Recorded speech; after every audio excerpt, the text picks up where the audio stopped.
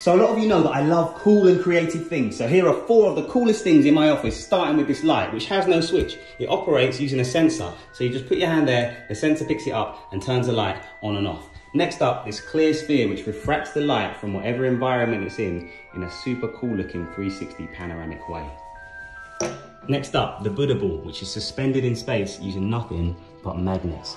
So I can slide my finger underneath it and you can see that it's suspended in the air using nothing but magnets. And finally, this globe, which might not look like much, but check this out. If I place it down, it rotates all on its own. How cool is that?